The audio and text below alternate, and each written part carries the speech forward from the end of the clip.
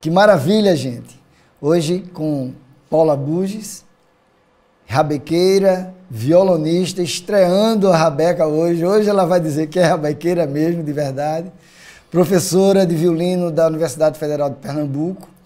E Alexandre, Alexandre Rodrigues, que é brother, conheço de muitos tempos. Vivia no Dus, chegando antes, pedia Amaro, dá para eu ver a passagem de som, dá para eu ouvir a passagem de som. Lá atrás, quando era nos Correios, há 10 anos atrás, Alexandre já chegava. Que bom tê-los aqui com a gente. Prazer é todo meu, prazer é enorme participar do DUR, né? Um, um projeto que eu venho acompanhando sempre, desde o do começo, né, do surgimento do projeto. E estar tá participando aqui é uma maravilha, né? Um sonho realizado. Pois é, eu estava lembrando disso. Eu digo, finalmente Alexandre realizou um sonho, porque ele foi para todos os DURs que a gente, que a gente fez, né? Praticamente viu tudo. Estava lá na plateia, estava lá antes. E agora tocando com a gente, né, Alexandre? Eita, que emoção. E colocando um pif nessa, colocando nesse pif. concerto aí foi muito bom. Pif e Rabeck, hein? É. Que duelo. Foi um grande desafio, assim, a gente começou a conversar sobre repertório e aí eu, eu vi, assim, né, que realmente foi um convite muito honroso, assim, para mim. Já tinha assistido grandes nomes, já tinha Ginga com Spock.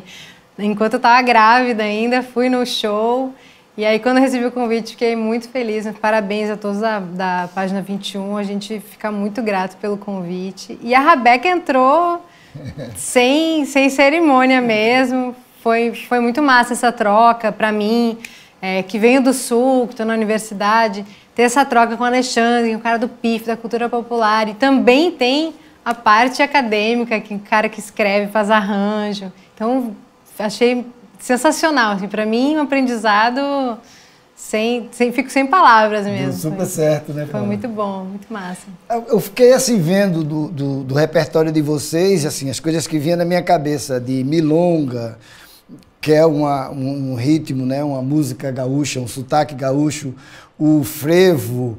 É, música de pife, eu vi seu Sebastião Biano ali, no, eu vi seu Sebastião Biano. Cara, vocês conseguiram reunir tudo com dois instrumentos que são, ao mesmo tempo, clássico erudito, de uma escola de orquestra, e dois instrumentos que são instrumentos populares, instrumento que a gente vê na feira, como o pife e a rabeca, o violino e a flauta, o clarone, né, instrumentos mais, mais clássicos. Que loucura!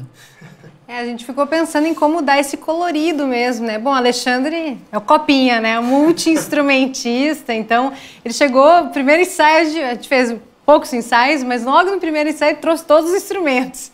Aí eu falei, no mínimo a rabeca eu vou ter que tocar. E aí a gente foi colorindo, foi, foi vendo também dessas influências da música. Eu venho da música de concerto, apesar de já ter um trabalho com um cheirinho da, da música da cultura popular.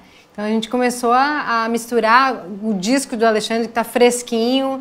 Ele também me, me, incentivou muito a escrever, a, a compor para o Duos. Eu já tinha duas obras e aí fizemos mais duas em parceria, fiz mais uma sozinha também. Então, aí o, o Galdéria é uma chacareira, né? Então, peguei um ritmo do sul e comecei. Foi no final do ensaio. O Alexandre disse: mas por que você não escreve alguma coisa lá do sul? E aí veio o tema, eu já gravei assim logo no gravador do WhatsApp do grupo que eu tenho comigo mesma para ouvir depois. E, e, e, foi muito legal porque o processo criativo, essa escolha da, da música autoral, da gente também colocar a nossa música com as nossas influências, para mim, ótimo. sensacional, uma entrada assim na música instrumental popular mesmo. Que ótimo. E essa e é um desafio, né, Alexandre? Isso. Mesmo vocês sendo músicos profissionais, já tem uma história, já está já tá aí lidando. O Alexandre está hoje tocando, o Alexandre está no mesmo patamar de que qualquer multi-instrumentista de sopro no Brasil. Né? Carlos Malta, que já teve com a gente em, em, em versões do Dus, né? Alexandre está ali também. Né? E esse desafio foi maravilhoso. Foi bom demais, porque, como Paula falou, na questão dos timbres, né? no primeiro ensaio eu levei oito instrumentos, não foi, Paula?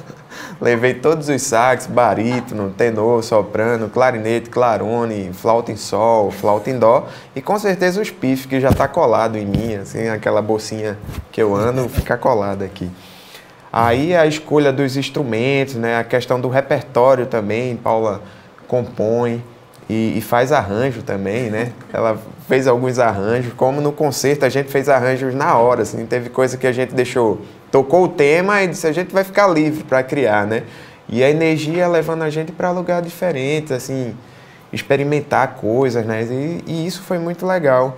E a questão do violino foi a primeira vez assim que eu faço um concerto do com violino, né? Violino, rabeca. A rabeca eu tenho aproximação por conta de Cláudio, que já faz um tempinho. Cláudio Rabeca, é, que Cláudio... esteve com a gente também em duas, em duas passadas. E que me emprestou o arco para fazer esse show, que eu tava com arco pesado, eu fiz uma visita a ele, me mostrou um arco, eu falei, você vai me emprestar esse arco. Então, obrigada, Cláudio.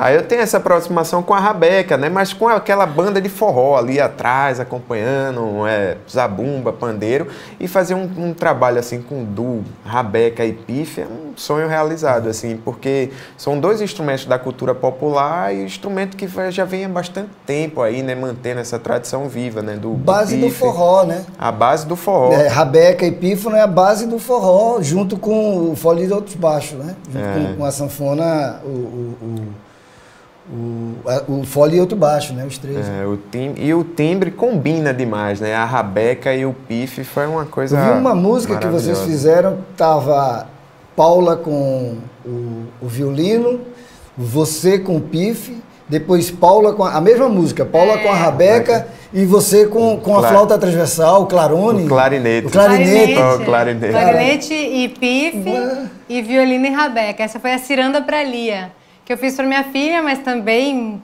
com certeza, né, para nossa rainha ali de Itamaracá.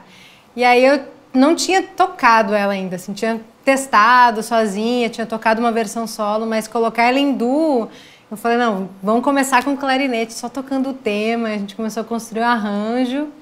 E aí a parte B é um coco, né? É, um, é, um, é uma sambada de coco rabecada ali. E você, e... e você faz tocando, né? Tá louco, muito bom, muito bom. Pessoal, assim, muito feliz com a participação de vocês. Está é, tá sendo para a gente um, uma experiência gratificante fazer esse duos, mesmo nesse momento tão difícil, né? nessa pandemia. A gente trazendo, você disse que está tá um ano sem tocar. Um né? ano. Agradeço sem demais tocar. mesmo a produção, porque todos os cuidados foram tomados, a testagem deixaram a gente realmente muito à vontade e seguro para poder fazer música de novo. Tava um ano realmente sem, sem conseguir, sem, sem ter essa força, sem ter esse estímulo. Então o projeto veio ótima Maravilha. hora.